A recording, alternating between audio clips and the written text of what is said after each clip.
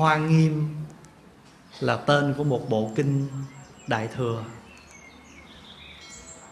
Nói cho đủ nói tắt á, là nói kinh hoa nghiêm.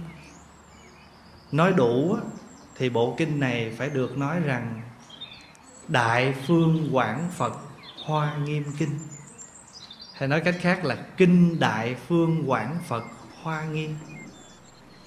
Thì hoa nghiêm là cái quả. Bởi vì chúng ta là người tu, chúng ta luôn luôn lập cái hạnh nguyện. Mà cái hạnh nguyện là cái nhân để cho mình phát tâm tu. Cho nên á, ở ngay cái nhân mà chúng ta phát cái, phát tâm, tu các cái hạnh để rồi chúng ta thành tựu được các cái hạnh lành giống như một tràng hoa trang nghiêm thân tâm của mình. Cho nên gọi là hoa nghiêm. Hiểu ý không?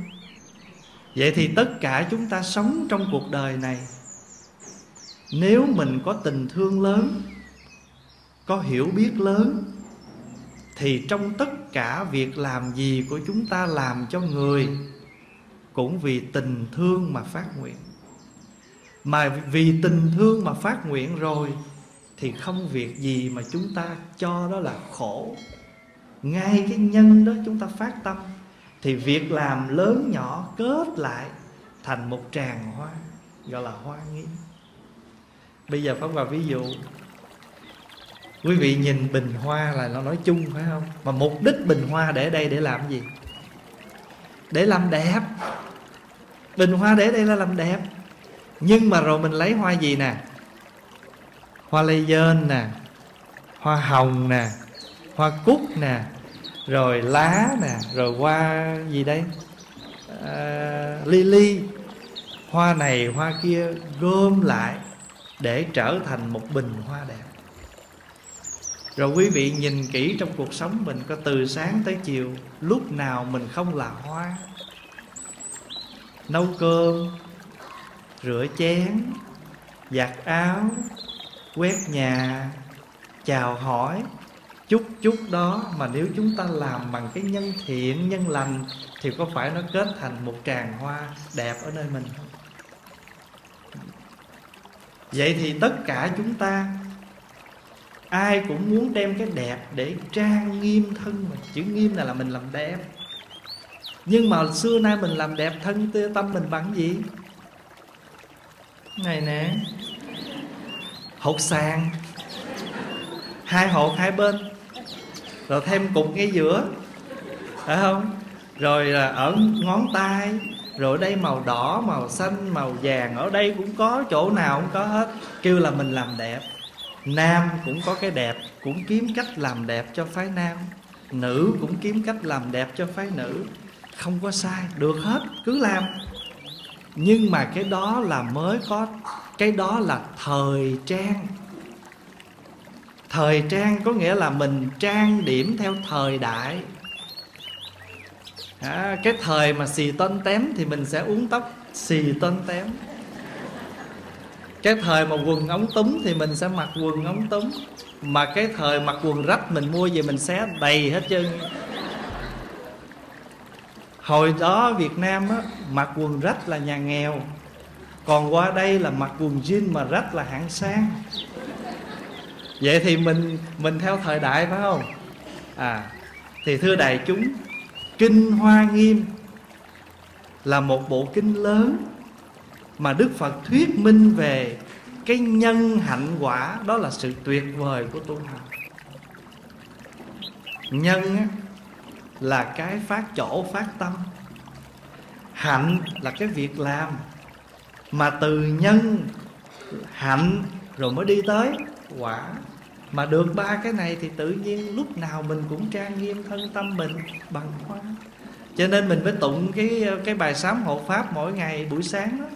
Bồ đề diệu hoa biến trang nghiêm, tùy sở trụ xứ thường an lạc nếu mà mình lấy được cái hoa bồ đề, chứ không phải bồ đề gai, hoa bồ đề thiệt, mà mình khắp nơi, khắp chốn, việc gì mình làm cũng bằng bồ đề của mình hết. Ví dụ như nấu một miếng nước đại khách, quét cái sân, dọn chánh điện, tọa cụ bồ đoàn, nói chung nhất nhất việc gì mình làm cũng làm bằng từ sự phát tâm bồ đề, thì đó chính là bồ đề diệu hoa biến trang nghiêm. Rồi việc làm chỗ nào mình làm gì mình đi đâu mình cũng đều có sự an lạc hết gọi là tùy sở trụ xứ thường an lạc. Kinh hoa nghiêm là một bộ kinh điển mà cái đối tượng mà đức phật nói kinh hoa nghiêm á, là bồ tát chứ không phải hàng phàm phu mà trong kinh ví dụ á, chư tổ ví dụ á, cũng giống như mặt trời mà soi ra khi mặt trời mà đứng bóng hiển lên thì mặt trời sẽ soi từ trên đỉnh núi soi xuống. Phải không? Nếu mà mặt trời cao lên rồi thì chiếu từ đâu chiếu xuống? Tiêu trừ trên đỉnh chiếu xuống. Cũng như thế. Giáo pháp của phật giáo pháp của phật cũng giống như một ánh sáng mặt trời chiếu từ cao xuống tới thấp cho nên ngài trí khải đại sư ở trung hoa đó, ngài có tổng hợp lại những thời gian đức phật nói kinh qua một bài kệ. Hoa nghiêm tối sơ, tam thất nhật. A hàm thập nhị phương đẳng bát. Nhị thập nhị niên bát nhã đàm. Niết hoa, pháp hoa niết bàn cộng bát niên cái bài kệ của của ngài trí khải đó, tổng hợp năm thời, những thời gian, mấy mươi năm của đức phật thuyết pháp nằm gọn trong bốn câu thơ đó. Hoa nghiêm tối sơ tam thất nhật, Tức là ban đầu Đức Phật nói kinh Hoa nghiêm Trong 21 ngày. 7 tuần 7 tuần lễ là 21 ngày. A hàm thập nhị, Tức là những cái kinh A hàm Như là nói về tứ diệu đế, Bát chánh đạo à, ba mươi bảy phẩm trợ đạo thập nhị nhân duyên đó cái đó những cái kinh đó thuộc kinh a hàm nói 12 năm. Rồi nói những kinh phương đẳng 8 năm như là kinh lăng già kinh lăng nghiêm kinh duy ma cật nói cho các bậc bồ tát quyền thừa. Còn a hàm là nói cho các vị thanh văn duyên giác. A hàm thập nhị phương đẳng bát. Nhị thập nhị niên bát nhã đàm 22 năm nói kinh bát nhã còn cái bài kinh bát nhã tâm kinh mà bây giờ mình tụng đó, mỗi ngày mình hay tụng ma ha bát nhã ba la mật đa tâm kinh rồi đó. Cái bài kinh đó là chỉ có hai trăm mấy chục chữ thôi, là tổng hợp cái ý của toàn bộ bát nhã sáu trăm quyển. Hệ thống bát nhã gồm sáu trăm quyển, rồi mới đem hết tinh yếu của bát nhã đó gom lại thành một bài kinh ngắn gọn để cho chúng ta bây giờ đang trì tụng đó. Chứ không phải nói bát nhã có nhiêu đó đâu. Bát nhã, một cái hệ thống bát nhã gồm 600 quyển. Mà cái bộ kinh bát nhã là cái bộ kinh cuối cùng mà ngài huyền trang đã đi ấn độ mang kinh về và để ra thời gian dịch bộ kinh đó. Và khi ngài dịch xong bộ đại bát nhã rồi thì sức khỏe của ngài cũng đã yếu và ngài đã viên tịch sau bộ kinh đó. Và cái bộ, cái bản kinh bát nhã tâm kinh mà ngày nay chúng ta tụng mỗi ngày đó đó là cũng do ngài huyền trang dịch. Ngài tinh tổng hợp lại tất cả những cái gọi là chính yếu của bát nhã muốn nói, trọn vẹn trong bài kinh đó. Nhị thập nhị niên bát nhã đàm. Nói cho ai? Nói cho chư vị bồ tát quyền thừa. Và chư vị bồ tát quyền thừa là chư vị bồ tát mượn cái phương tiện lăn xả vào đời. Các vị bồ tát vẫn ăn giống như mình, nhưng mà mình ăn thì mình khổ theo cái món ăn.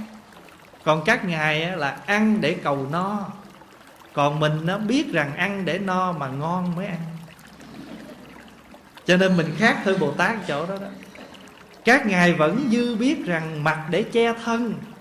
Nhưng mà mình vẫn biết mặt để che thân, nhưng mà lụa là đẹp mới mặc. Áo dài phải đe, mặc vô làm sao mà cho eo ót được, chứ còn mà rộng thùng thình như mấy cái áo tràng không mặc. Nhưng mà khi mình mặc áo, mình may áo tràng thì chẳng cần phải áo ót chi, rộng rãi, mặc cho thoải mái rồi nhiều khi mùa đông còn mặc thêm cái áo thun, áo ờ, áo lạnh bên trong cho nó khỏe, không cần. Vậy thì cái khác ở cái chỗ mình với bồ tát là vậy. Cho nên các vị bồ tát quyền thừa là những người lăn xả vào đời nhưng các ngài biết ứng dụng phương tiện quyền xảo. Bác Nhã nói cho chư Bồ Tát quyền rồi. 22 năm. Rồi 8 năm cuối cùng là Phật nói Kinh Pháp Hoa và Kinh Niết Bàn. Và Kinh Niết Kinh Pháp Hoa và Kinh Niết Bàn để nói cho ai?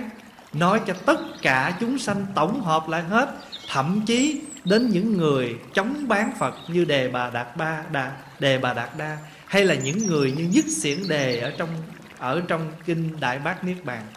Tất cả Đức Phật đều xác định quý vị đó đều có phật tánh đều có khả năng làm phật cho nên cái thời gian mà phật thuyết pháp được tổ trí khải đã tổng hợp, gọi là năm thời giáo, ở trong một bài kệ gọn gàng như vậy. Hoa nghiêm tối sơ, tam thất nhật, a hàm thập nhị phương đẳng bát, nhị thập nhị niên bát nhã đàm, pháp hoa niết bàn cộng bát niên. Mà bây giờ mình trở lại ở trong kinh hoa nghiêm đã nói về cái chỗ tuyệt vời của chư phật. Đó là tu ba điều. Nhân, hạnh, quả. Có nhiều khi á, mình đến chùa, có mình đi ngang cái ngôi chùa này hàng chục lần nhưng mình chưa vào, hàng trăm, hàng ngàn lần nhưng mà chưa vô. Tự nhiên có ngày đó, tại vì mình có một người bạn, ba mẹ mất mời chùa đi cúng. Rồi mình vì cái tình bạn mình mới bước vô chùa. Có không? Nhiều khi bản thân mình mình tự đâu đi, nhưng mà có một cái duyên do nào đó, có cái nhân cớ nào đó, mình bước vào. Từ cái giây phút bước thì tự nhiên cái duyên của mình nó tới. Mình được nghe kinh, mình được nghe pháp, và thậm chí mình đi ngang mình không thấy được bên trong. Mình bước vô trong mình thấy cảnh chùa trang nghiêm thanh tịnh. Hoặc là lâu nay trong lòng mình có một cái thành kiến về những người ở chùa. Cho nên rồi nhờ đi đó mình mới gặp, mình nói những cái gì mình nghĩ cũng có người, chứ đâu ai cũng vậy. Cái thì nó hóa giải cái đó đi. Thì từ cái chỗ đó nó là cái nhân cho mình phát tâm. Rồi từ đó mình bắt đầu mình tu tập, mình chuyển hóa. Quý vị ngồi đây, những người đã phát tâm quy tam bảo rồi, mà một khi mình phát tâm quy y rồi thì mình có hành, mình có hành những cái gì mình đã phát nguyện quy y không? Có chứ. Tuy mình chưa có một trăm phần trăm, nhưng mà ít nhất mình cũng phải làm một phần nào đó trong cái phát nguyện của mình. Thế thì phát nguyện không có lỗ. Phát nguyện không bao giờ sai. Chính chúng ta không phát nguyện cho nên chúng ta khó mà đi xa được. Còn chúng ta có phát nguyện rồi, dù chúng ta đi có chậm nhưng mà chúng ta có đi. Còn hơn là chúng ta không bao giờ đi. Mà không bao giờ đi thì không bao giờ biết. Mà không bao giờ biết thì làm sao có được cái chứng nghiệm? Cho nên muốn chứng thì phải có hành. Có hành thì mới có chứng được. Mà cái cái mà khoa nghi muốn nói đó là gì? Là tất cả các pháp đều do tâm của chúng ta mà sắp nếu mà cái pháp giới này, cái đạo tràng này có phải do tâm mà mà phát sinh? Có thể hồi xưa đây chỉ là một miếng đất. Nhưng mà nhờ thầy viện chủ thấy miếng đất này tốt, rồi ngài mới phát tâm, ngài phát họa lên. Bây giờ ở đây thành một cái đạo tràng trang nghiêm. Thế thì tất cả nơi đây đều do chúng ta nhân cái chỗ này mà chúng ta phát tâm, chúng ta làm rồi cái quả mà ngày nay chúng thấy là, chúng ta thấy đây là một đạo tràng trang nghiêm. Cho nên quý vị nhìn một người nào tu mà ta có kết quả tốt đó, rồi mình nói, trời ơi, sao anh tu hành tốt quá. Mình khen người ta rồi, bây giờ mình phải bắt đầu, tôi bắt đầu, tôi bắt trước. Hồi xưa anh tu từ đâu? Từ cái chỗ quy y tam bảo đó. Từ cái chỗ tôi mới tập ăn chay, hồi đó tôi mới ăn chay, tôi ăn khó ăn lắm trời ơi tôi thèm. Tôi ăn mà tôi thèm. Tại nhờ biết mình thèm vậy đó Cho nên ráng. Chứ còn mà nếu mà nói ăn sao vậy Tôi, tôi ăn có tới 12 giờ khuya Tôi chờ Phật ngủ. Tôi ăn lại Cho nên cái khó là ở cái chỗ Ngay khi mà chúng ta thấy được cái quả tốt Giống như mình thấy Phật tu có kết quả Thì chúng ta trở lại Chúng ta bắt đầu từ cái chỗ Như hồi nãy Pháp Hòa có nói với mấy em khi mình làm một bài toán Mình có cái đáp số nó sai. Thì nếu mà là một cái người có chánh niệm á, thì phải trở lại cái bài đó. Khi mình nhận ra cái dấu x mà cô giáo chấm bài là sai thì chúng ta không bỏ cái bài đó ngay đó mà chúng ta trở về chúng ta trở lại chúng ta coi coi lý do nào mình sai. Rồi bắt đầu trở về nhân cộng chia trừ gì từ đầu phát hiện ồ vì tôi cộng sai cái chỗ này, vì tôi trừ trật cái chỗ đó mà cuối cùng cái quả tôi là sai. Cho nên cái nhân là chúng ta cộng đúng, hay là cái nhân chúng ta sai thì chúng ta trở về tìm cái nhân, rồi hành động trở lại để cái quả nó tốt ở trong kinh hoa nghiêm á, gồm 80 quyển 80 quyển toàn bộ. Mà 80 quyển này nó không ngoài bốn chữ tính giải hành chứng. Tính là gì? Là niềm tin. Nhưng mà cái tính đó, nó khác với chữ tin. Ví dụ Pháp Hòa nói ví dụ nè. Pháp Hòa nói á Nếu ai mà Mà mà mà làm cơm rượu Mà nếp mà mình sau khi mà nó ra men rồi, mình để lại cái mấy ngày sau nếp ăn nó cứng cứng trở lại. Nó có một cái trick ở trong đó, nó có một cái chỗ mình chưa thông. Là khi mình nấu nếp 20 phút đầu, rồi mình đem ra mình xả nước lạnh để mình rửa cái cái nhựa nếp cho nó sạch đi. Rồi mình hấp nếp 20 phút nữa, rồi mình đem mình trộn men rồi mình dò cơm rượu, mình vắt thì cơm rượu không bao giờ bị sống lại. Cái lý do là nó sống lại là vì cái nhựa nếp mình chưa xả thì nó sẽ bao cái hột nếp. Mà mình thấy thì thấy cứ như nó chín, nhưng mà khi mình để nguội thì nó sống trở lại. Nó chỉ có cái chỗ đó thôi. Bây giờ quý vị nghe, quý vị mới tin thôi. Rồi, ngày mai về làm thử. Khi mà làm thử rồi mình thấy à được ha thì từ đó với từ cái chữ tin nó đi tới chữ tính. Hai cái chữ nó khác. Tin đó, tức là mình nghe ta nói mình tin. Nhưng mà mình phải thực hành mình phải tư duy mình phải làm phải quán chiếu để cái chữ tính mình nó phát sanh. Mà một khi chữ tính mà phát sanh thì nhà phật gọi là thâm tính.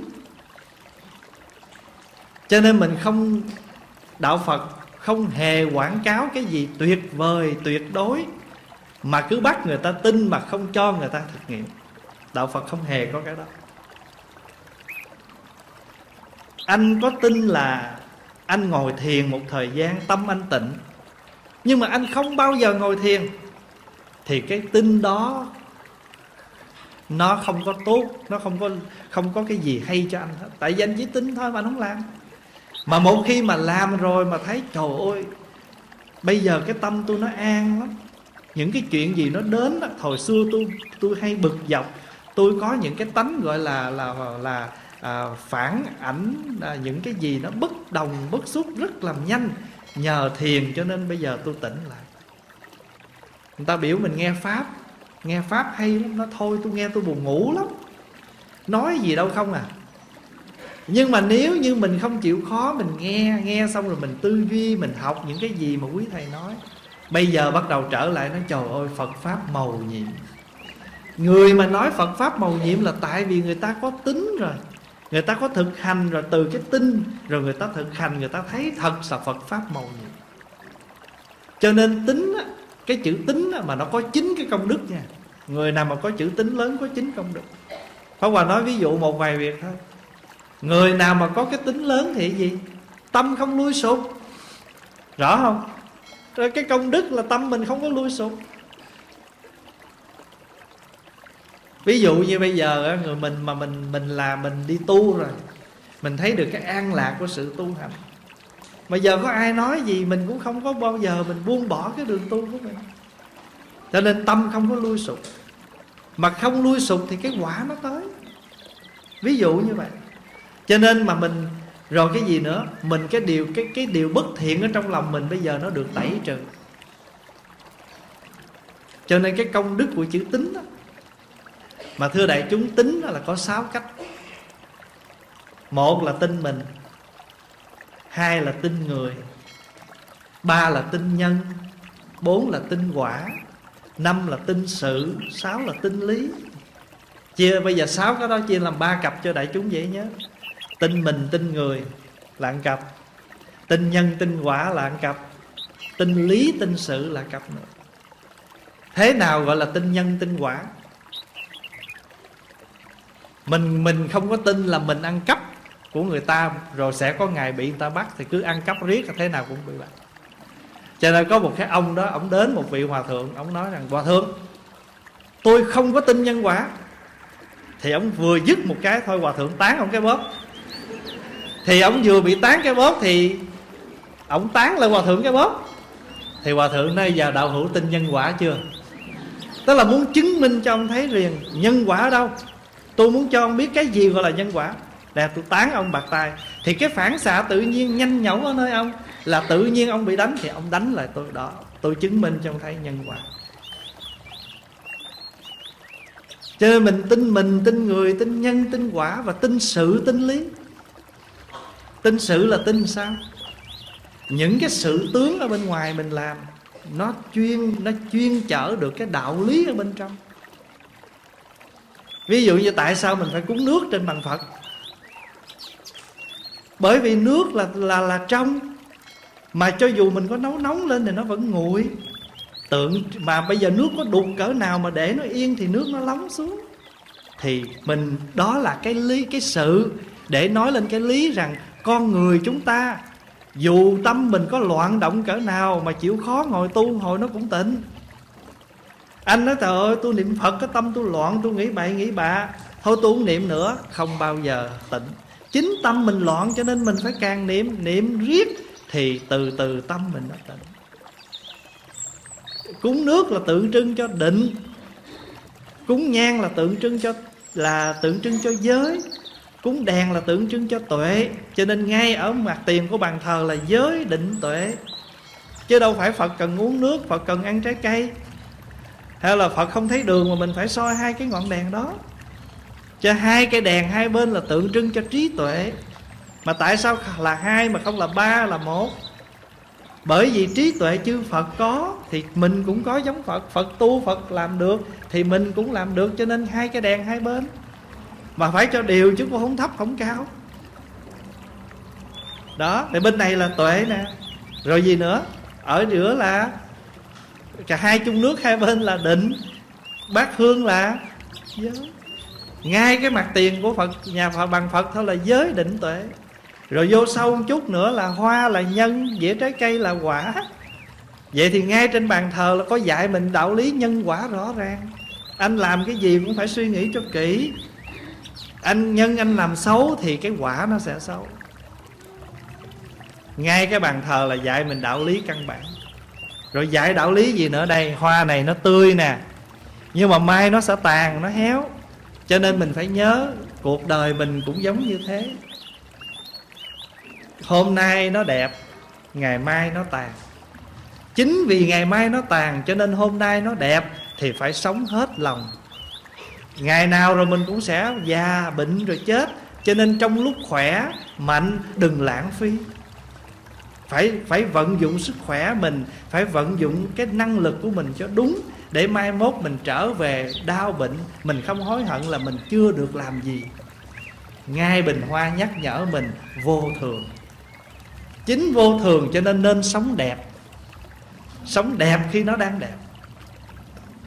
Đó là nhân à, xin lỗi đó là sự mà lý là vậy.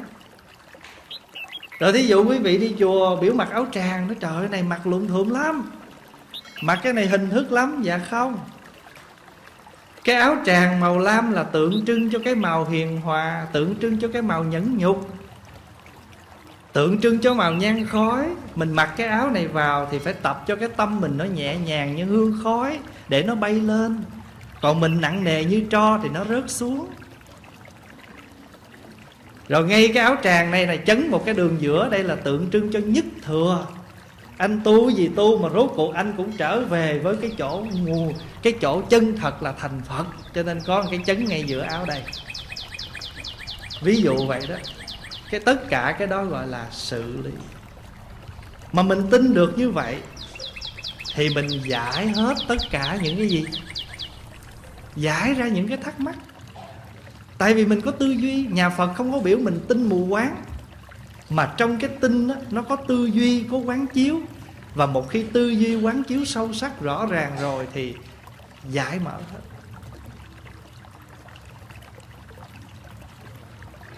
Ví dụ như quý vị thấy à, đức văn thù cầm cây kiếm. Thì mình biết rằng cây kiếm này là tượng trưng cho trí tuệ chặt đứt mọi cái phiền não. Cho nên bồ tát văn thù cầm cây kiếm. Đức quan âm có ngàn mắt, ngàn tay đâu có ai mà người, con người nào mà có ngàn mắt, ngàn tay dưới bây giờ mà thấy ba tay ba đầu là mình thấy khủng hoảng rồi. Ngàn mắt là tượng trưng cho trí tuệ. Ngàn tay là tượng trưng cho thương yêu. Thấy được như vậy mình không có còn phỉ bán nữa. Mà mình có cái niềm tin để mình giải ra cho nên tính là niềm tin. Giải có nghĩa là mình giải mở ra. Mình hiểu tính giải. Rồi khi mà mình giải, mình hiểu rồi thì mình đi tới cái gì? Hành. Đây là pháp hòa nói tổng yếu của hoa nghiêm đó. Tám chục quyển hoa nghiêm nằm trong bốn chữ. Tính, giải, hành nhưng mà nhớ khi mình có cái, mình tính, mình giải là phải giải cho đúng à. Chẳng hạn như mình gặp người ta tụng kinh lương hoàng sám. Mình nói, chị đừng có tụng lương hoàng sám. Họ ta hỏi, tại sao vậy? Lương hoàng sám mau hết nghiệp. Mà mau hết nghiệp là chết sớm. Nói vậy đó. Có make sense không? Không make sense rồi bây giờ pháp hòa nghe vậy rồi qua ví dụ lại. Pháp hòa thấy một người bệnh, pháp hòa nói, chị đừng có uống thuốc. Hỏi, sao vậy? Uống thuốc hết bệnh. Hết bệnh chị mau đi. Nói vậy nghe sao được? Hay là nói ngược lại, chị bệnh quá, đừng uống thuốc. Để vậy đi, tại vì nghiệp. Cũng không được. Phật giáo đâu có dạy như vậy.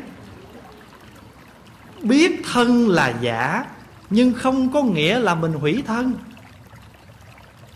biết thân này một ngày nào rồi nó cũng ra cho nhưng không từ đây cho đến ngày nó ra cho chúng ta không được quyền quỷ nó. Nó bệnh thì phải uống thuốc. Uống để làm gì? Uống để hết bệnh. Hết bệnh để làm chi? Để mà sống tốt, sống lành, sống mà làm lợi, chứ không phải để rồi, để không đó. Rồi cũng không thể thấy cuộc đời mình đau khổ nhiều quá rồi tự vẫn chết.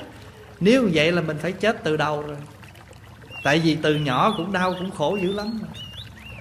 Cho nên nếu có có khả năng, có có cái gan, có cái cái cái gọi là mình dám tự vận thì tại sao không dám sống? Nếu mà dám chết một cách, nghĩa là đau khổ thì mình phải dám sống. Vì thưa đại chúng, đừng có hiểu lầm đạo phật dạy vô thường, vô ngã, tối ngày cứ nói những cái đó rồi cái mình nghe mình buồn rầu.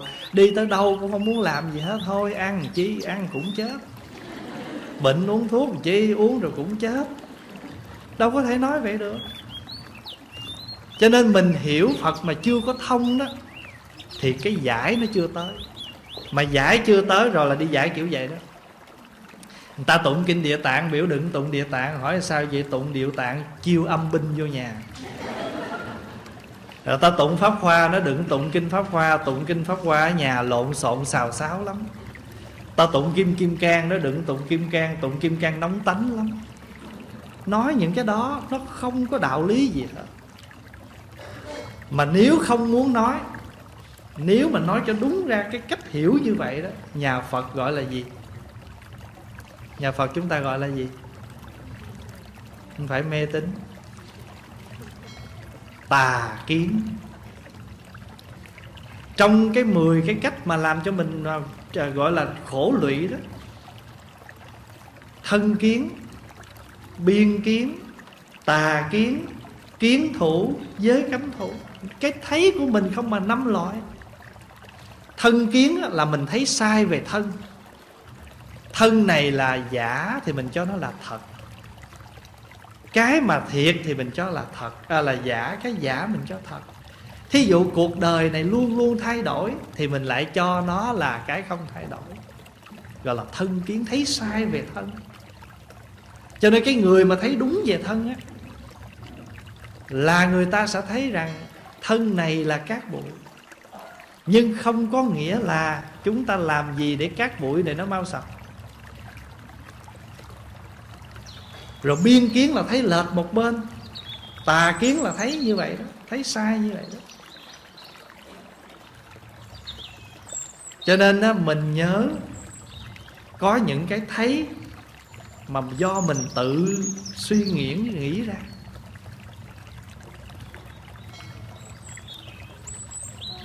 Tính giải hành chứng. Mà một khi mà chứng rồi đó thì nó làm cho cái niềm tin của mình càng sâu. Ở đây quý vị có chứng chưa? Có chứng không? Có. Mình chưa có đại chứng thôi. Tiểu chứng thì chút chút, phải không? Thôi nói bây giờ nói đơn giản là chứng nghĩa là giác ngộ. Mình giác ngộ chưa?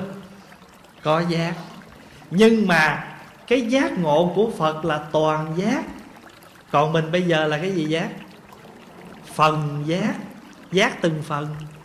Khổ đau giác đó. Giác từng phần gọi là phần giác. Còn đức phật khỏi cần nữa. Phật nhìn cái là phật biết liền, gọi là toàn giác. Ví dụ như mình mình mình mình dẫn bạn trai về, chị gái mình ấy. Chị thấy thằng đó hơi gian gian chị này, người yêu em mà cứ chê hoài. cái người mà người ta thấy chút gì đó, người ta bị gì mình á, tại vì người xưa đã nói rồi, khi đã yêu còn đâu sợ gì không? Rồi khi mình thấy, mình không thấy khi mình yêu mà hãy yêu á, tức là ái, mà ái là có mê. Khi mình thương là mình có mê trong đó đó. Người sai mình cũng thấy đúng nữa. Người ta sai mình vẫn thấy đúng, mà thậm chí còn tìm cách bào chữa để mình vẫn tiếp tục được cái tình yêu đó nữa nhờ cái người giác, cho nên chúng ta là phần giác, tức là giác từng phần. Còn có khi lúc tỉnh, lúc mê thì gọi là hốt giác, hốt mê. Khi tỉnh, khi mê giống như nóng lạnh vậy đó. Lúc nóng, lúc lạnh. Chúng ta cũng có cái chứng ngộ của mình. Nhưng mà cái chứng ngộ của mình phải do tu tập mà có. Cho nên pháp hòa nói tóm bốn chữ, tính giải hành chứng. Khi mà chúng ta có cái tin, có cái chữ, cái, có giải, mà cái giải của chúng ta là chúng ta biết sống với phương tiện tùy duyên. Ví dụ như hồi nãy, khi mình xếp chánh điện là mình nghĩ là ngồi hai bên đủ và để giữa trống cho nó đẹp. Nhưng mà rồi bây giờ đông quá, không đủ cái thì mình phải phương tiện cho người ta ra giữa người ta ngồi. Ví dụ vậy đó rồi bây giờ thường là mình không có ai ngồi ngoài sân hết. Bữa nay ngồi ngoài sân nhiều quá, cái đó không được ngồi trước phật. Nhưng mà nếu mình phương tiện thì mình nói là sao? Đem ghế rồi cho người ta ngồi. Thí dụ vậy đó. Cho nên một khi mà tin sâu, giải rõ, thì chúng ta sống được với cái phương tiện đó một cách linh động nhẹ nhàng mà không cần phải tuyên bố gì hết mà sống được như vậy, lúc nào mình tới đâu, người ta cũng nhận ra mình là một đóa hoa trang nghiêm đạo tràng. Cái đi, cái đứng, cái hành xử của mình. Ở trong hoa kinh, hoa nghiêm á, cái phẩm quan trọng mà rất là nổi tiếng, đó là phẩm thứ 39 nói về một anh chàng thanh niên tuổi còn trẻ, tên là thiện tài và cái người trẻ tên thiện tài này rất có lòng muốn đi học hỏi ở nơi các vị thầy, đi khắp mọi nơi để tìm thầy học đạo. Và người người thanh niên trẻ này có cái ý chí đó, cho nên đã đi 53 chỗ để cầu ở 53 vị thầy. Và chúng ta bây giờ thường gọi là thiện tài đồng tử ngũ thập tam tham tức là thiện tài đồng tử, tức là một cái người trẻ đồng tử, tức là một người thanh niên trẻ. Tên thiện tài, trải qua 53 lần đi tham vấn đạo lý. Mà nếu mà thưa đại chúng, theo cái nghĩ của chúng ta là nếu mà đi tham cầu học hỏi thì phải tham cầu ở đâu? Ở nơi các người thầy giỏi. Chứ mình đâu có bao giờ nghĩ là đi vô chợ cá để tím bà bán cá hỏi đạo mình đâu có bao giờ nghĩ là đi gặp một cái cô kỹ nữ để mà hỏi đạo.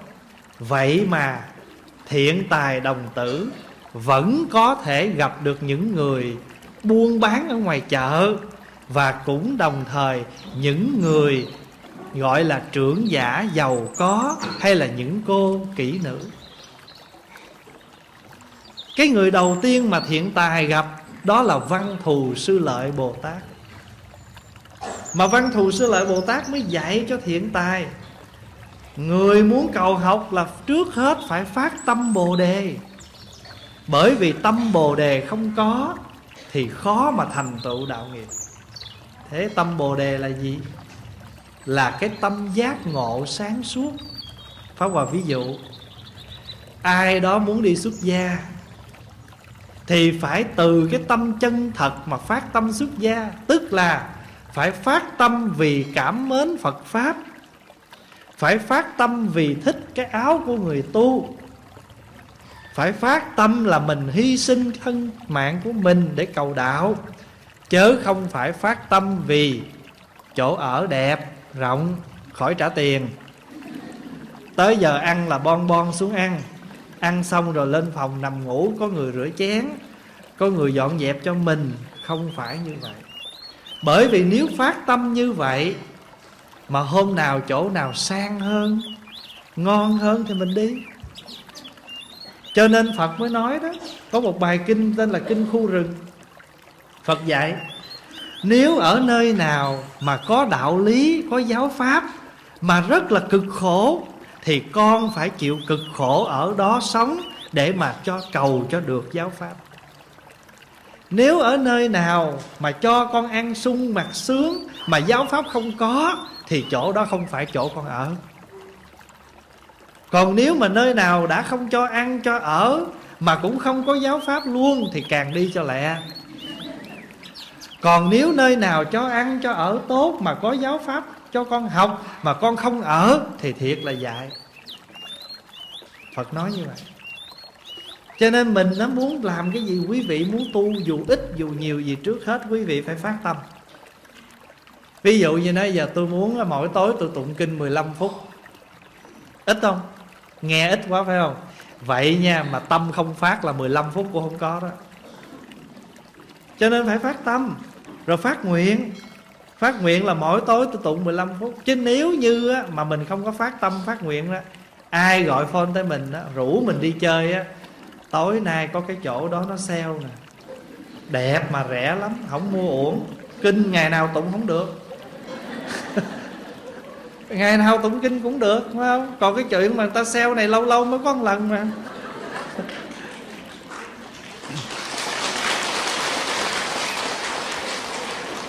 Cho nên á, tâm mà không phát thì nguyện không lập. Mà tâm không phát nguyện không lập thì làm sao mà mình có thể mình thanh tấu được cho nên thưa đại chúng chữ tin ở trong kinh hoa nghiêm nói chữ tính là mẹ sanh ra tất cả công đức. Tại vì nếu mình không có tính mình không có niềm tin mãnh liệt rằng mình cứu người người sẽ hết khổ. Đây là ví dụ như uh, chùa hoa nghiêm có đoàn đi hành hương uh, ấn độ. Rồi quý vị nghe nói bên ấn độ người ta nghèo khổ lắm mà đặc biệt cái trận động đất vừa rồi ở nepal thôi sẵn kỳ này có đoàn đi, mình hùng năm chục, ba chục, mỗi người chút để nhờ quý vị người ta đi, người ta qua đó ta bố thí giùm mình. Mình không có tin là đồng tiền mình sẽ được giúp người thì mình không bao giờ mình làm. Mình cho đâu hai chục à mà nghi ngờ nguyên năm. Nó tôi không biết hai chục đó tới không. Rồi gặp ai cũng hỏi, có cho không? Tức là cái đó không có sai nhưng mà để cho chúng ta có cơ hội chúng ta nhìn lại. Cái chúng ta nhìn lại là chúng ta phải tin rằng cái thiện mà chúng ta làm sẽ có người hưởng. Cái thiện chúng ta làm sẽ có người hưởng. Pháp Hòa nói ví dụ bây giờ quý vị thấy cái chùa này xây đẹp như vậy nè Quy nga như vậy nè. Ở hải ngoại hiếm có được một ngôi chùa như vậy. Đời này mình xây dựng, Quý vị có tin rằng Hai, ba chục năm sau, Con cháu mình nó cũng còn đây, nó hưởng không? Mình tin như vậy cho nên rồi. Mình mới đóng góp, mình làm. Rồi mình nghĩ rằng à, cái quốc gia này đã mở cửa đón mình, Thì thôi bây giờ mình sống ở đây.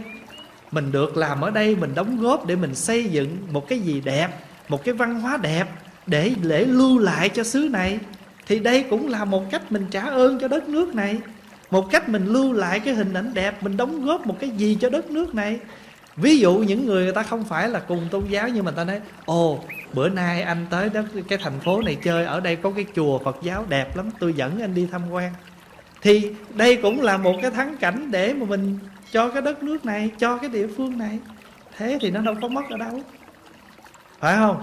Cho nên mình in kinh, mình ấn tống, mình bà làm dĩa, mình tặng, mình làm tất cả việc lành, nó không mất ở đâu hết có điều là có khi nó ẩn, nó hiện mà thôi. Ví dụ như có những vị bồ tát, trong giờ phút này mình đang nghe pháp đây, biết đâu ở dưới bếp có những người đang, gọi là, cực khổ nấu ăn. Những người đó người ta đâu có nói gì đâu, nhưng mà người ta làm cái hạnh bồ tát.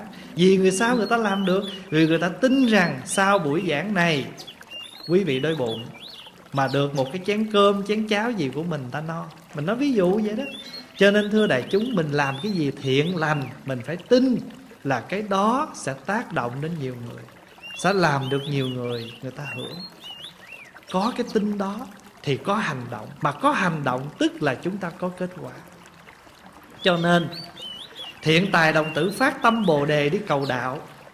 Trong số những người thiện tài đồng tử đi cầu đạo, thiện tài đồng tử gặp một người buôn bán ở ngoài chợ rồi thiện tài đồng tử đứng ở chỗ ngoài chợ đó để coi cái ông đó buôn bán. Bởi vì thiện tài đồng tử nghe nói là cái dân buôn bán là chuyên môn lường gạt. Bây giờ để thiện tài đồng tử muốn thấy rằng Nếu một người Phật tử buôn bán ra làm sao, thì cuối cùng thiện tài đồng tử đứng một bên để ý cái ông đó. Bán ở cái chỗ tên là supermarket. Ở đây có chợ trời không? Tiếng úc ở, ở đây địa phương đây chợ trời tiếng mỹ gọi như sao? Sunday market. Ở bên canada với bên mỹ kêu là flea market. Rồi thì thiện tài đồng tử đứng để ý. Thì thấy cái ông này quả thật là một cái ông có tu chợ tại vì thiện tài đồng tử nghe nói rằng thứ nhất là tu tại gia thứ hai tu chợ thứ ba tu chùa thì nghe nói là giống như xưa nay mình nghĩ vậy đó. Tốt nhất là tu nhà, tốt nhì là tu chợ, tốt ba mới tu chùa. Bây giờ thiện tài đồng tử muốn giáo nghiệm cái đó. Thì thấy rõ ràng cái ông này, cư sĩ này, tuy là một người buôn bán, nhưng ổng rất là thiện. Người ta tới trả giá bán không được. Ông nói dạ cái này tôi bán không được. Chứ ổng, người ta mua trả giá đã đời, biểu mở tủ cho coi. Coi xong rồi không mua gì hết. Ổng lấy giấy, ổng đốt phong long. Cái ông đó ông không làm như vậy. Mà ông vẫn bình thản. Khách tới, coi, mình đưa, muốn coi, mình đưa cho coi. Không mua thì mình cất vô. Không có phiền hà gì hết. Thế gọi là tu chợ.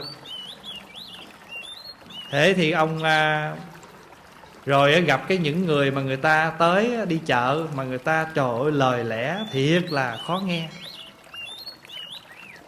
Thì ông mới hỏi ông à, ông, cái ông bán chợ đó, hỏi chứ ông tu làm sao? Ông chỉ cho tôi tu với. Cái ông này mới trả lời, ông nói, tôi tu ngoài chợ á, tôi đâu có dịp vô chùa.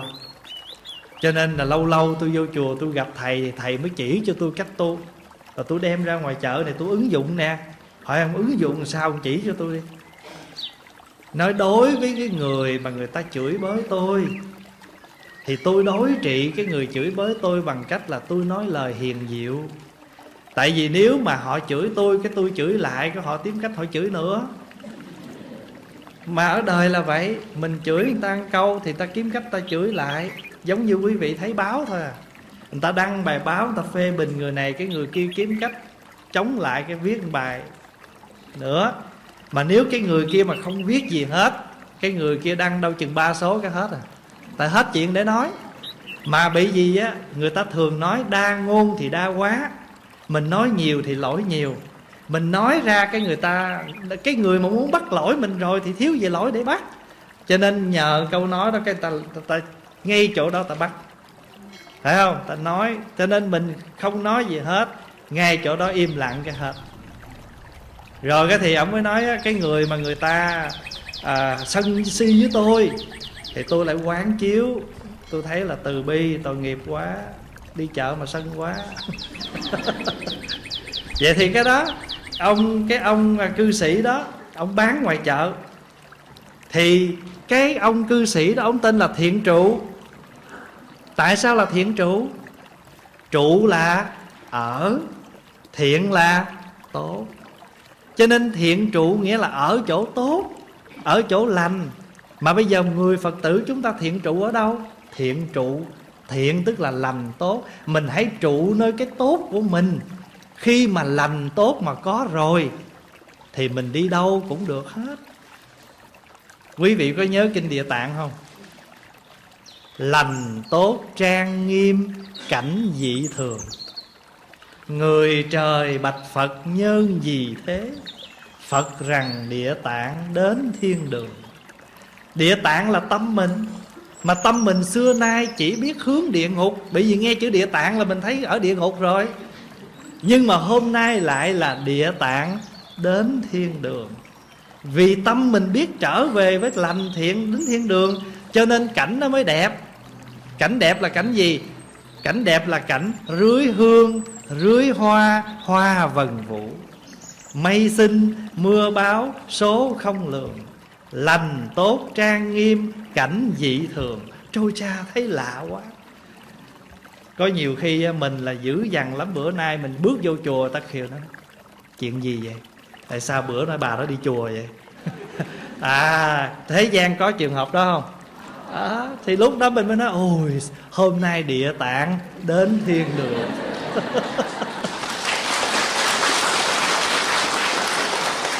Địa tạng đến thiên đường. Nhưng mà không có được chê nha. Vừa nghe xong chề môi bà đó mà tu. Không được làm cái hành động đó. Mà cái hành động này là hành động của bồ tát nè. Chư phật ba đời đồng khen chuộng. Mười phương bồ tát chung tin tưởng. Một người mà người ta biết quay về với thiện, tại sao mình không tán thán? Tại sao mình không có phát tâm mình trợ để cho người đó đi từ tính, giải, hành để người đó chứng? Người này xưa nay mình nghĩ họ chưa bao giờ biết phát tâm. Mà hôm nay họ phát tâm tức là họ đã tính, họ đã giải và bây giờ họ đang hành. Thì chúng ta phải làm một cái việc là trợ duyên cho tính hạnh giải đó, nó viên mãn để người đó cũng chừng chư phật ba đời, người trời bạch phật nhân gì thế? Thì phật rằng địa tạng, đến thiên đường. Mà làm được một cái việc đó thì chư phật ba đời đồng khen chuộng, mười phương bồ tát chung tin tưởng. Nay son sẵn có thiện nhân duyên, ngợi khen địa tạng, đức vô lượng. Mà địa tạng đó là tâm. Mà xưa nay tâm mình chưa hề biết hướng lành mà hôm nay tâm mình biết hướng lành thì có phải là điều tốt không? Pháp Hòa nói ví dụ nè. Ở đây có những vị nào mà ngày xưa thật là nóng tánh Mà nhờ nghe Pháp riết mà bớt không? Có. Đó. Thì bây giờ mình phải làm gì? Chư Phật ba đời đồng khen chuộng Mười phương Bồ Tát chung tin tưởng. Tất cả chúng ta tu, Không ai tu mà ngoài tâm mà tu được. Ngày xưa tâm mình dở Nhờ tu mà tâm mình thiện. Cũng cái tâm đó thôi. Cũng cái tâm đó chứ không có khác. Nhưng mà ngày xưa tâm mình dơ. Nhưng mà nhờ mình mỗi ngày chùi riết thì cái tâm mình nó sáng. Tâm mình như một tấm gương. Để lâu ngày thì bụi nó bám. Mà bây giờ nhờ pháp của phật như là cái cái miếng vẽ, nó lau cái bụi đó cho cái gương nó trong. Mà gương trong thì phật phải khen, bồ tát phải chung tin tưởng chứ. Tại sao lại phải chê? Thấy cái đó không? Cho nên cái ông thiện trụ đó, ông trả lời với thiện tài đồng tử. Thiện tài đồng tử nói, cư sĩ ơi, cư sĩ tu ở chợ sao chỉ cho tôi tu với? Tôi thấy ông tu giỏi dạ tôi không có tu gì hết. Tại vì thầy của tôi dạy tôi phải trụ trong tâm thiện, tâm lành. Người ta trả giá, tôi bán không được. Tôi nói dạ không được. Mà người ta có bỏ đi, tôi không chửi bới. Tôi không phun nước miếng đó, tôi không chề môi tôi không chửi bới. Đối với người mà nóng tánh thì tôi lại nhẹ nhàng. Đối với người ngôn ngữ mà quá nặng nề thì tôi lại từ tốn. Đó gọi là đối trị. Và có đôi khi mình phải làm gì nữa? Trong cuộc sống của chúng ta đôi khi sống ở ngoài bán ngoài chợ có đôi lúc bán người này mình lời nhiều nhưng mà bán cho người kia mình lời ít bù qua sớt lại, cốt là bán được cho người. Mình cũng bán được món quà mà người ta cũng vui vẻ để người ta mua. Đó là cái nghệ thuật làm ăn. Có đôi khi cái người mình gặp cái người ta mua dễ, mình nói trăm ta mua trăm. Mình lời. Nhưng mà đôi khi mình gặp cái người ta mua khó ta kèo này thêm ba chục. Thôi kệ, lỗ, không có lỗ nhưng mà không nhiều thôi, lời không nhiều thôi.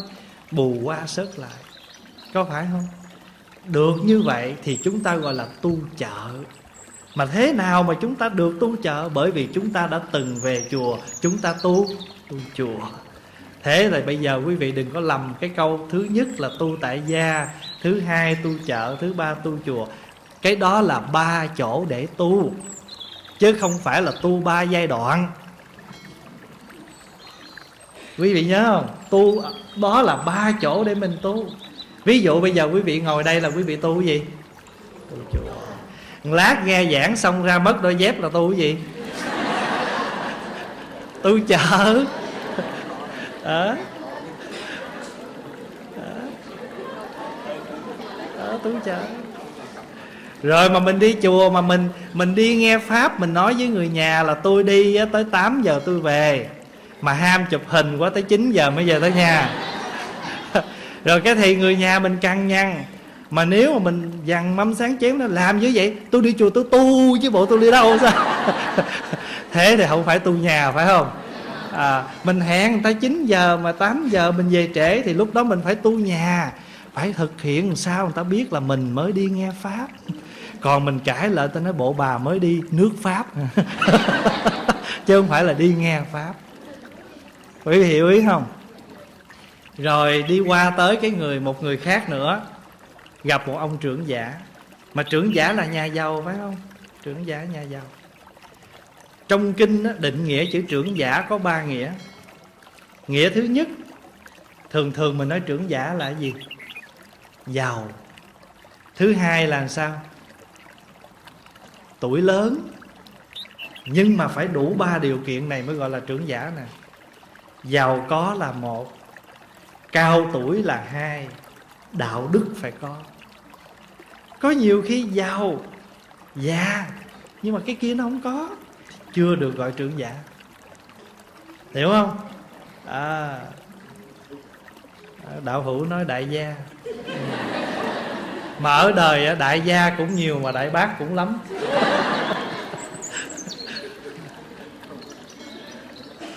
Rồi cái ông trưởng giả này á ông gặp à, uh, thiện tài đồng tử. Rồi thì sau khi từ giả cái vị mà bán chợ rồi học được rồi. Thì bây giờ ông đi ra ông gặp một người già giàu thì lâu nay trong tâm mình nghĩ nhà giàu là thường là không có đạo đức. Cũng chưa chắc. Thì lại gặp ông nhà giàu. Ông hỏi đạo hữu à, ông ông ông trưởng giả ơi ông tu làm sao? Ông chỉ cho tôi tu vậy. Thường thường á ông này mới nói tiểu phú là do cần đại phú là do thiên. Tôi sở dĩ mà một cái small business mà có là tại mình cần kiệm, mình để dành. Còn mình giàu có thiệt lớn là do mình sao? Mình được cái phước. Thì ông này mới nói, thật sự tôi nói cho thiện tài đồng tử nghe. Cái phước mà tôi có đó, thứ nhất là tâm tôi được an vui. Bây giờ quý vị nghĩ coi, có phải là cái đó là cái phước không? Nhiều khi mình giàu mà tâm mình không vui. Ăn cơm mà chan nước mắt. Đếm tiền mà ngồi ngủ gục. Bây giờ nó mệt quá, cả ngày bán, thôi tới vô là hốt, vô là hốt. Rồi về tới nhà gục lên, gục xuống mà đếm. Khổ lắm. Đó. cho nên á, nếu như mà, nếu như mà mình sống trong đời sống này có khi người ta nghèo, nhưng mà tâm người ta vui, ta an lạc. Vậy thì bây giờ nếu như mình giàu, đó là cái phước vật chất. Đây là cái phước giàu mà gọi trọn của mình đó. Giàu của rồi, nhưng mà tâm mình cũng có phần an lạc. Thì biết đó là phước. Còn nếu như mình chỉ có tiền của mà tâm mình thiếu an lạc, thì mình biết rằng phước đó chỉ một phần thôi phước ở một cái phần vật chất mà thiếu cái phần tinh thần. Quý vị thấy được điều của nói ha. Mà khi mà thân mặt vui rồi thì cái gì nó khỏe? Cái gì khỏe? Thân nó khỏe. Bởi vì tâm mà vui thì mình không có rầu, mà không rầu thì ít bệnh. Người mà bị stress nhiều mà không nói ra được, uất ức nhiều, lâu ngày nó thành ra những cái khối u trong người, nó dễ sanh bệnh người ta kêu là tâm sầu là bạch phát. Tâm mà buồn rầu thì tóc mau bạc. Cho nên các thầy tu á, tuy không có nhà, có cửa, không có vợ, có con không có gì hết mà tâm an. Mà nhiều khi mình qua Ấn Độ mình thấy những người nghèo rớt mồng tơi. Nhưng mà họ là người khỏe. Còn mình bây giờ đủ thứ mà mình lại là người không khỏe. Tại họ không có gì hết, giữ gì còn mình có, mình mới giữ. Cho nên, ông ông trưởng giả mới nói với thiện tài, tôi là người giàu, nhưng tôi nghiệm lại lời phật dạy. Tôi thấy tôi có năm cái phước. Một là tâm tôi an, hai là thân tôi khỏe. Mà hai cái này nó liên hệ. Hễ thân mà an thì tâm tâm mà an thì thân khỏe. Có nhiều khi ngược lại, thân bệnh mà tâm khỏe tại sao? Tại vì cái tâm á, nó biết quán. Thân này là tạm. Có thân nên khổ vì thân. Cuộc vui cuộc vui những ước vô ngần nào hay vui vẫn là nhân chát sâu nhiều khi á, mình đang vui đây nhưng mà nó lại là cái nhân của đau khổ. Thấy rần rần hợp mặt vậy chứ đâu có ai biết là sau một cái đó là chi phí lớn. Cho nên nhiều khi cái bậc trí người ta nhìn cái đó, người ta thấy được cái quả ở sau cho nên duy ma cật thân bệnh mà tâm không bệnh. Rồi, tâm vui, thân khỏe. Rồi thứ ba là gì? Cái nhận thức không sai lầm. Thế nào là nhận thức không sai lầm? Nhận thức không sai lầm, tức là mình có cái trí tuệ, có cái nhận biết không có sai. Pháp Hòa ví dụ vậy nè. Phật tử mình mà thắp nhang đó, Ai thắp một cây ngay bằng Phật rồi, Mình vô chùa đông quá mình khỏi thắp, Mình lại Phật được rồi. Không nhất thiết mình phải thắp thêm cây hương nữa Để coi như là Phật chứng biết cho mình. Mà lỡ mình thắp cây nhang Mà cái nhang nó có công á cũng vui bụng vậy được rồi, Đừng có la lên trời ơi, Phật chứng. Phật không có chứng mấy cái vụ đó đâu. Bởi vì Phật đâu có rảnh. Trời ơi, bỏ bỏ cung vàng, điện ngọc, bỏ hết, Để đi tu, để coi ngồi chờ coi đứa nào cúng nhang. Nhờ coi có ai cúng nhang cho nó công công chơi. Phật đâu có rảnh làm chuyện đó, Cho nên mình nói vậy tội Phật. Có nhận thức phải cho nó đúng đắn. Hiểu ý không? À. À, rồi á mình đi rồi rồi bây giờ á pháp hòa nói ví dụ bây giờ quý vị mà làm cái gì mà được thành tựu thì tự biết do tâm mình thành do phước mình có do nghiệp mình giảm do mình tu chứ không có ai ban phát gì mà nếu mà thật sự phật có ban phát là ban phát cái gì ban phát cái giáo pháp cho mình để mình ứng dụng mình tu rồi có kết quả tốt đi ra đường tấp vô cái chỗ đậu xe, thấy cái cây cái cây tiền á, còn dư đâu được đồng, đậu được tiếng. Trời ơi, mừng ghê mà còn la nó trời thấy không phật độ. Trời ơi, dư con đồng bạc mà phật độ, phật đâu ngoài đường mà độ mình. Quý vị không? Phật không có độ mấy cái vụ đó. Người ta hiểu đạo chưa có sâu, chưa thấu ta nói thì thôi không sao. Mình phật tử thuần thành, nghe pháp nhiều rồi đừng có cho phật độ mới có tới tội phật. Rồi, hứa ăn chay. Tuần lễ đó quên không ăn, phát cái nó nhức đầu. Cái tới hồi nhớ chực lại nó, trời ơi, tôi hứa ăn chay mà tôi không ăn á, bởi phật quở nhức đầu suốt một tuần. Phật đâu có rảnh mà ghi sổ mình có ai hứa ăn chay một tuần. Ai hứa cũng năm chục.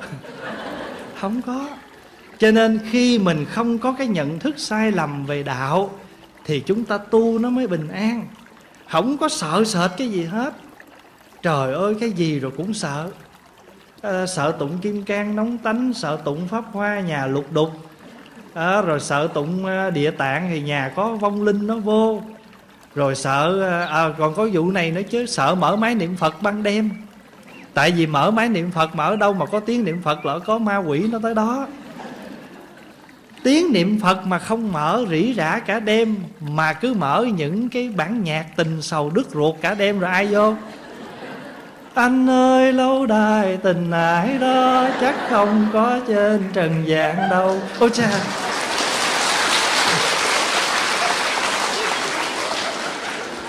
Rồi không lẽ cứ rỉ rả cả đêm hát cái đó hoài? Mười năm không găm tường, tình đã cũ đó rồi hết cái bản này cái bắt qua bài kia đời tôi cô đơn nên yêu ai cũng cô đơn. Rồi không lẽ vậy cả đêm cái nó yên rồi mình bây giờ quý vị nghĩ mình mở máy niệm phật ban đêm ở nhà với mở cái rỉ rả suốt đêm đó cái nào nó hơn? À, thì tại bây giờ dù bây giờ quý vị có mở máy niệm phật cả đêm có mở máy nhạc cả đêm có tội không? Không có tội gì hết. Thế thì tại sao người ta mở máy niệm phật là mình là không chịu? Rồi pháp hòa nói này nữa. Còn giờ không? À không còn cũng nói.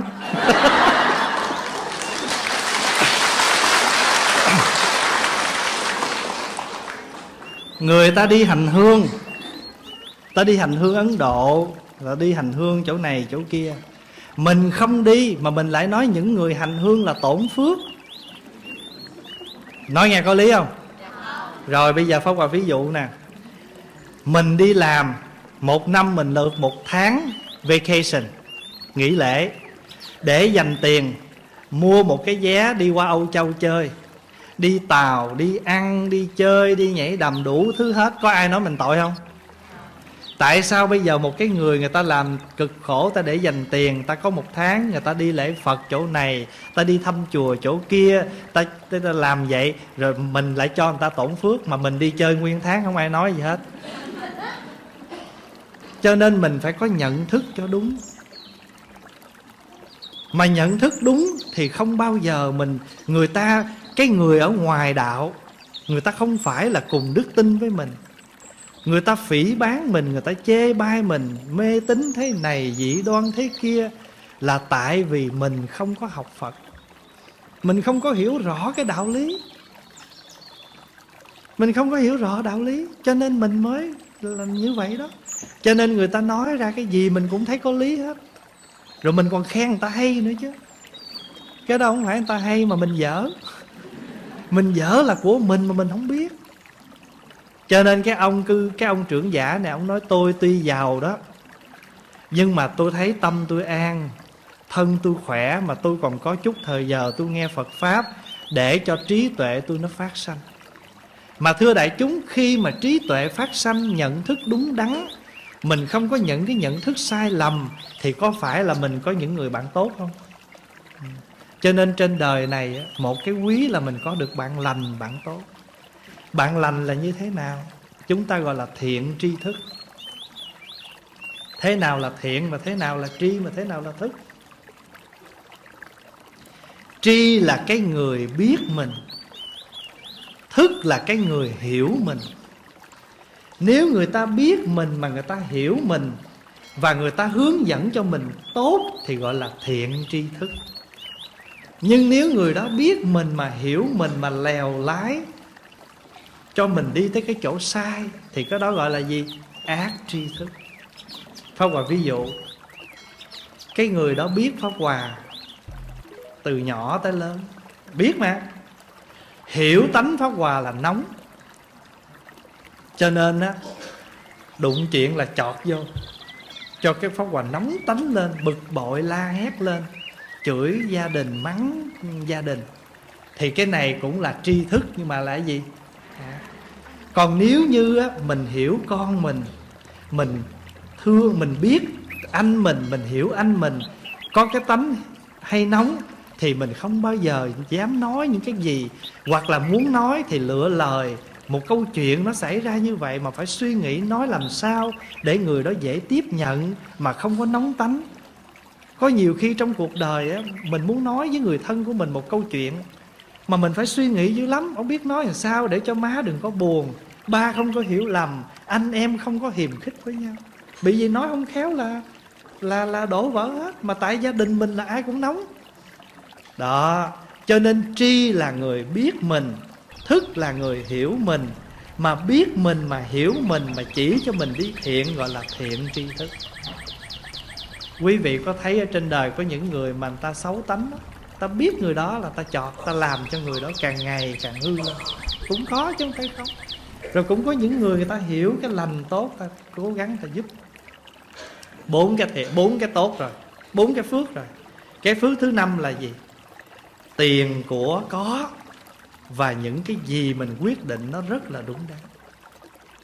Khi mà trí tuệ nó có rồi, thì sự suy nghĩ của mình nó chín chắn và mọi quyết định của mình có cái chiều sâu và cái phần đổ vỡ nó bớt lên. Cho nên á giàu có là cái phước. Đó là phước tiền của. Nhưng nếu chúng ta quán lại mình giàu có tiền của, nhưng tâm hồn mình an vui, thân thể mình còn khỏe, tốt, mình có bạn lành bạn lành đây là gia đình mình, người thân mình, cũng như những người bạn mà mình giao tiếp hàng ngày, và hiểu biết của mình không có đến nỗi sai quấy, thì mình biết mình là người có phước.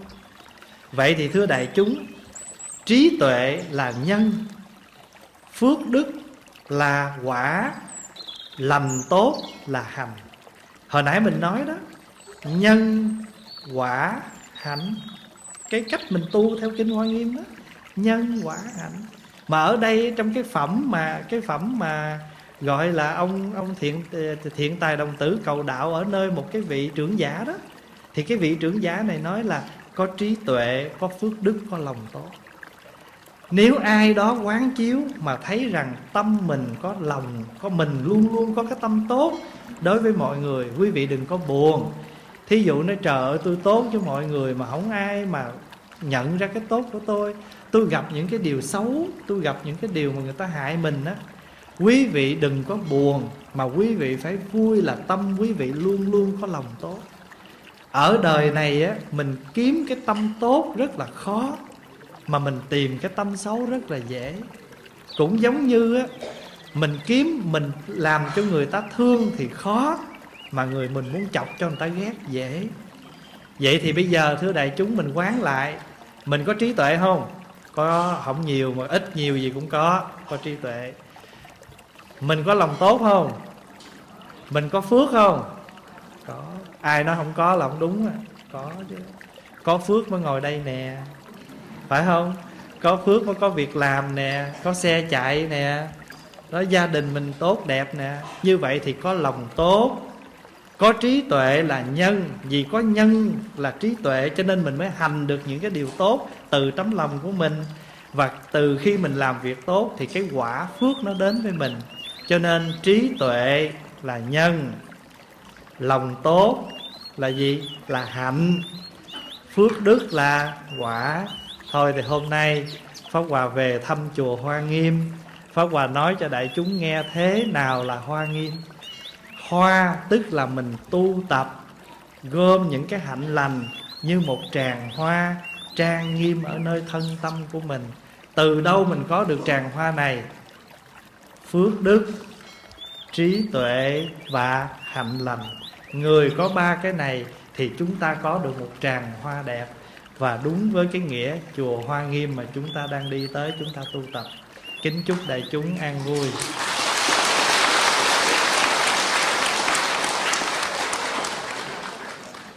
Nam mô Phật. À, kính thưa bà quý vị, kính thưa bà toàn thể quý Phật tử.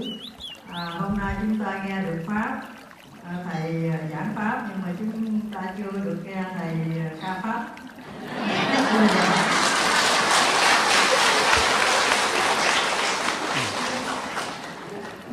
Mời đại chúng à, chắp tay, phá hòa ca cho quý vị nghe.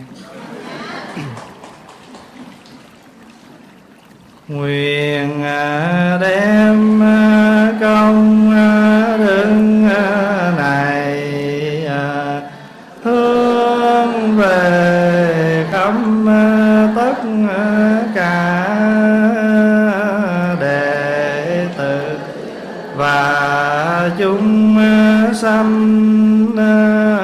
đều trọn thành Phật đạo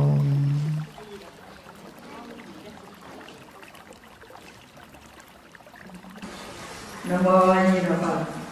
Ờ, kính thưa thầy, ờ, qua bài giảng pháp chúng con được uh, hưởng được lời pháp của thầy nhất là thầy đã giảng những yếu chỉ của kinh đại thừa quan nghiêm tính dạy hành chứng nhân hành quả dân dân à, ờ, những bài pháp quý báu này chúng con sẽ đem vào áp dụng vào đời sống gia đình để thân tâm được an lạc. Chúng con thành kính tri ân kính chúc thầy được nhiều sức khỏe hoàng pháp lại sanh thân tâm thường an lạc nam mô a di đà phật.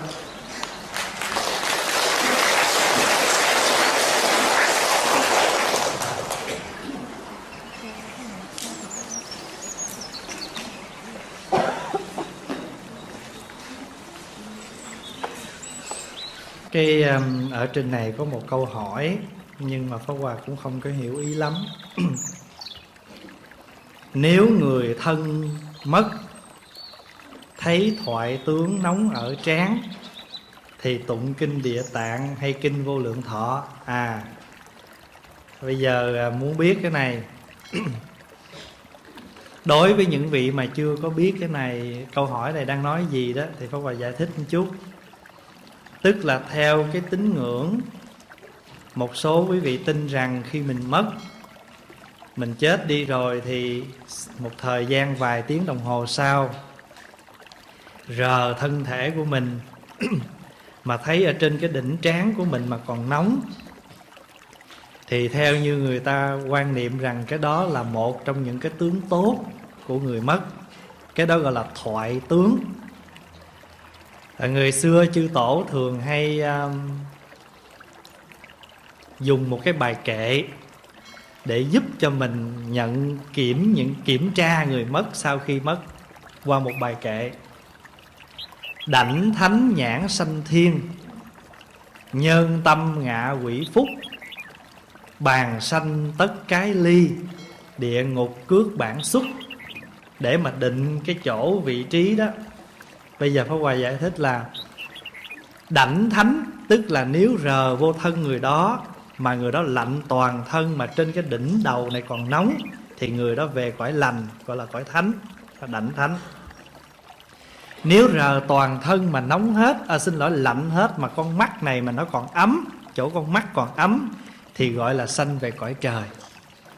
Đảnh thánh nhãn sanh thiên. Nếu rờ người mất đó mà toàn thân lạnh Chỉ cái ngực còn hơi ấm Thì cái đó gọi là sanh về cõi người Gọi là nhân tâm. Nhân là cõi người Tâm là cái lòng ngực mình Nhân tâm. Ngạ quỷ phúc nếu mà mình rờ toàn thân mà cái bụng á, Mà nó nóng, toàn thân lạnh Thì người đó đọa làm ngạ quỷ. Nếu mà rờ toàn thân mà cái đầu gối nó nóng, Toàn thân nó lạnh, thì chỗ đó người đó sanh làm súc sanh. Còn nếu mà rờ vào đó mà cái chân, cái lòng bàn chân ấm, mà toàn thân lạnh, thì người đó ở địa ngục. Thì người ta định nghĩa như vậy để cho chúng ta kiểm cái thoại tướng. Nhưng mà thoại tướng là phải từ lòng ngực đổ lên, chứ còn từ cái bụng đổ xuống thì không gọi là thoại tướng. Chữ thoại là lành. Tướng là cái tướng trạng. Thưa đại chúng, cái đó chỉ là kinh nghiệm của người xưa. Người ta nói vậy thôi. Mà cho dù người nào có thoại tướng hay không thoại tướng, thì cái việc trợ duyên cho người mất chúng ta cũng cứ làm thí dụ, bây giờ một vị hòa thượng tu hành nhiều năm, khi hòa thượng sắp mất, mình cần tới trợ lực cho hòa thượng không? Cũng phải cần. Tại vì cái người mà sắp mất thì thường thường người ta hốt hoảng. Người ta do đau nhức của thân thể, có đôi khi mất chánh niệm.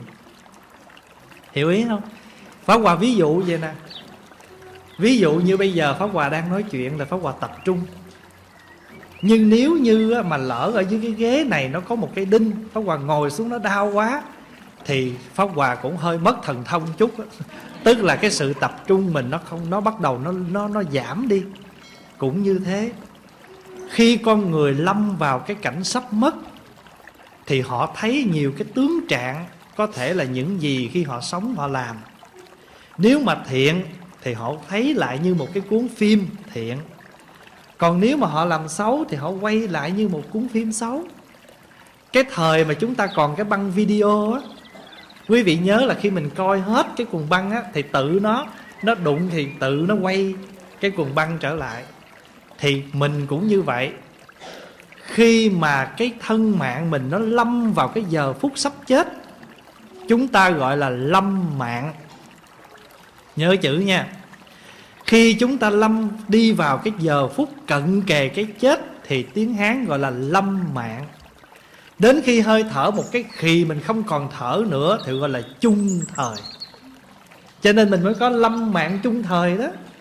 Chung là kết cuộc, là chấm dứt. Nhưng mà lúc nào, ngay cái lúc chúng ta không còn thở. Thì cái câu đó bốn chữ, lâm mạng chung thời, thì thấy lúc nào là lâm mạng? Khi người đó thở sắp chết rồi người đó thở cái nhẹ ra, dứt, chấm dứt không còn thở nữa thì là chung thời. Thì bây giờ tất cả những người tu không tu vì gì? Khi sắp mất, nếu được cái phước lành, cái cơ duyên tốt, chúng ta tới trợ niệm cho người đó. Nhưng đừng có chờ. Để rồi sắp mất rồi người, nhờ người tới trợ niệm, không có kịp. Và nó cũng không có tương ứng tại sao không tương ứng? Bởi vì khi sống mình không gieo cái nhân đó, thì khi người ta tụng cái đó lên, mình không có không có, mình không có cái gì. Mình không có matching. Mình không có đi cùng được. Bây giờ pháp hòa ví dụ nè. Nếu mà quý vị nào thuộc cái bài là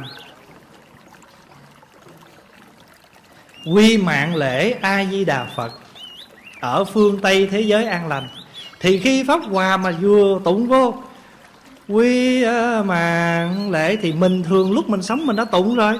Cho nên cái tâm mình nó đi theo cái lời đó. Thì cái cái tiếng tụng bên ngoài là cái duyên để đưa cái tâm thức của mình không có tán loạn mà đi theo cái dòng kinh đó. Nhưng mà nếu mình không bao giờ mình tụng cái đó, thì bây giờ người ta tụng thì người ta tụng mình cứ nằm trơ trơ ra đó thôi mình cứ nói đừng có quy nữa, tôi sắp đi rồi. Mình cũng sẽ nói đừng có y nữa, tôi đang ở bệnh viện. Tại vì nó không có tương ứng. Cho nên cái quan trọng trước nhất vẫn là đòi hỏi mình phải tu tập. Để khi mình lâm mạng chung thời, người ta tới, người ta trợ duyên là cái đó nó tương ứng. Còn nếu như mình không có ai tới hết, thì chừng đó mình phải làm gì? Tự đi. Chứ không làm gì giờ? vậy thì bây giờ lúc tự đi là cái gì đẩy mình đi? Nghiệp lực nó đẩy mình đi. Mà tổ quy sơn định nghĩa nè, học xuyên thước phi thức tâm tùy nghiệp. Giống như con chim mà nó sổ lòng, mà con chim nó ở trong lòng mà khi nó sổ lòng nó bay về đâu? Nó bay về rừng rú của nó nó bay về ổ của nó. Thì chúng ta cũng như thế, chúng ta xả cái thân này thì nghiệp lực nó đẩy mình đi. Người cực thiện đi về cõi lành người cực ác liền đọa địa ngục mà không cần phải trải qua 49 ngày. Còn vấn đề tụng kinh, nếu như mình có tụng kinh, không phải mình tụng cái là người đó siêu đâu. Chẳng qua là mình tụng để mình đem cái lời nhắc nhở, khuyên lơn cho cái thần thức người mất đó. Họ đừng có bám víu nữa, họ chấp nhận, họ buông xả. Tiền, tài, vật chất, vợ, đẹp, con ngoan, họ chấp nhận, họ xả để họ đi. Tại bây giờ họ có lưu luyến họ cũng không xài được, họ cũng không dùng được, họ cũng không làm gì được hết. Thêm câu nữa. Cho nên á, pháp hòa chỉ muốn nói một điều thôi. Chúng ta không nên chờ khi chúng ta mất để được cái việc đó. Mà cái chúng ta cần làm là hạ thủ công phu. Cho nên pháp hòa mới làm một cái bài kệ để nhắc tự mình đó thời gian trôi thật nhanh, kiếp người thật mong manh. Giây phút nào tỉnh thức, giây phút ấy tu hành. Đó là pháp hòa làm để mình tự nhắc mình. Giờ phút nào mình tỉnh thì giờ phút đó mình tu. Trời ơi, mình không lo tu mà mình đợi. Không lẽ lúc đó mình còn đủ sức mình á Hồ niệm Hồ niệm.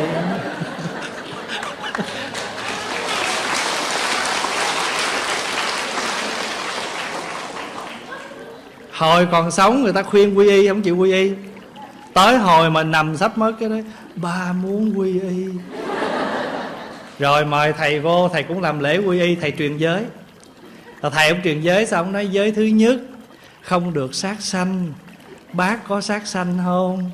Ông nói dạ giữ được, con không sát sanh. Qua tới giới thứ hai, không trộm cắp.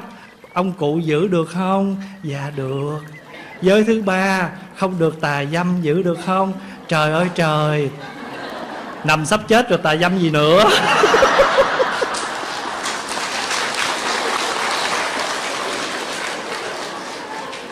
Cho nên mình lúc sống mình phải lo cái chuyện đó.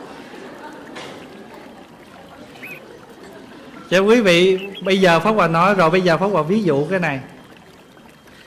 Nếu mà quý vị thuộc nhạc power hòa bắt lên, quý vị hát theo được không?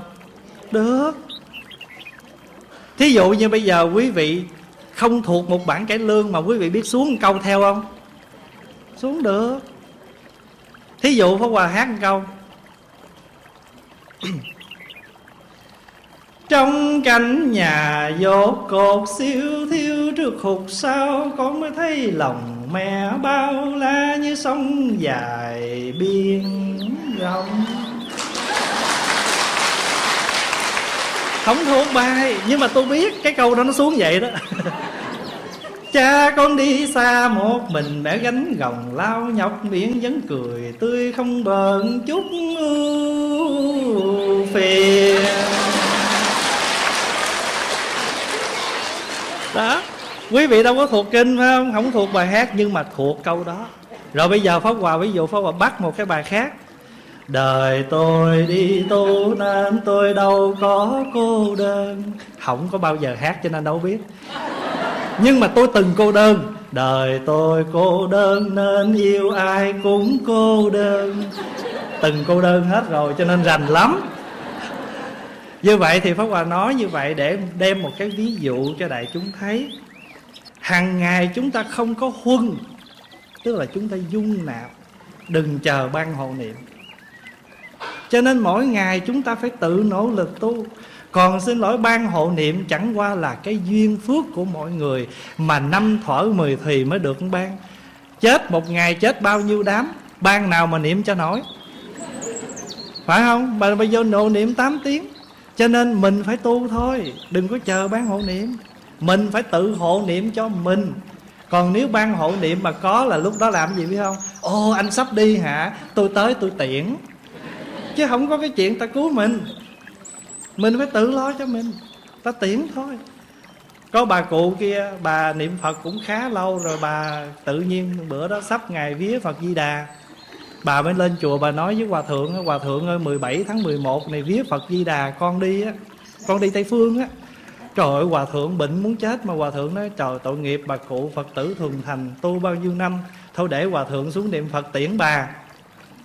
Đưa cho bộ đồ quang minh màu vàng, đội mão quan âm rồi vô nằm, đắp mền rồi lên niệm.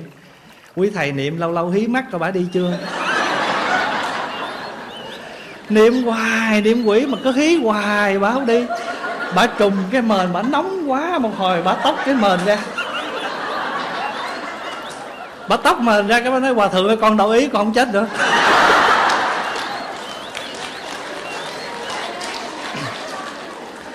Thế thì bà mới nói, hòa thượng mới nói, hòa thượng ơi, con đổi ý, con không chết nữa. Hòa thượng nói, bà không chết mà tôi sắp chết.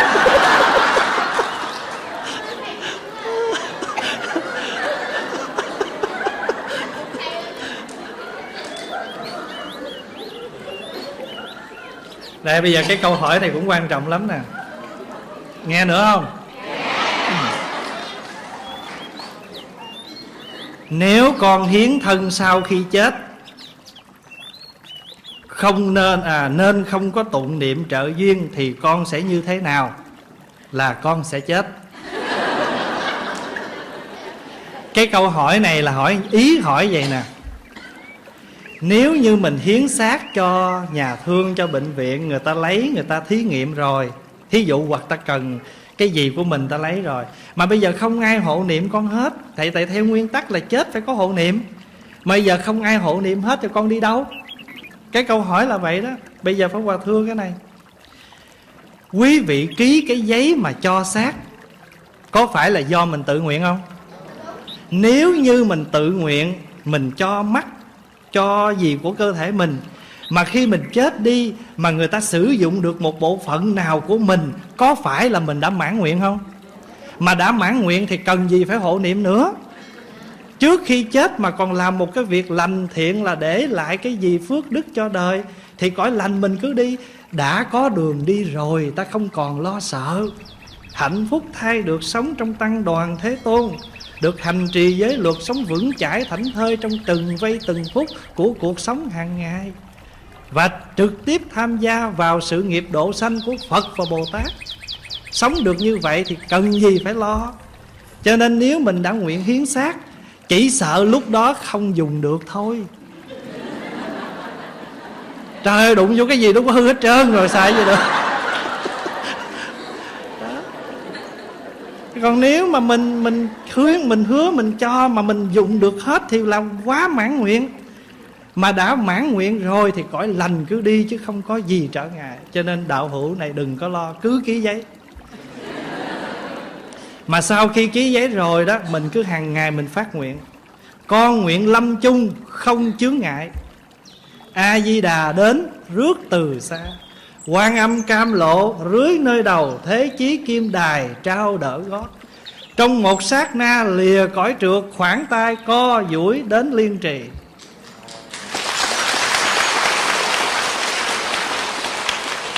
Trong ao sen nở, thấy từ tôn, nghe tiếng pháp sâu, lòng sáng tỏ. Nghe rồi liền ngộ vô sanh nhẫn, không rời an dưỡng trở lại ta bà khéo đem phương tiện độ quần mê hay lấy trần lao làm phật sự. Con nguyện như thế, phật chứng tri, kết cuộc về sau được thành tựu. Tóm lại, nếu mình thực hiện được như vậy là trí tuệ. Gì nữa? Hành động là tu hành và cuối cùng là phước. Mình có trí để mình biết là mình phải làm gì. Rồi hàng ngày mình cứ hành những gì mình đã phát nguyện thì lo gì quả lành không tới? Vậy được rồi ha.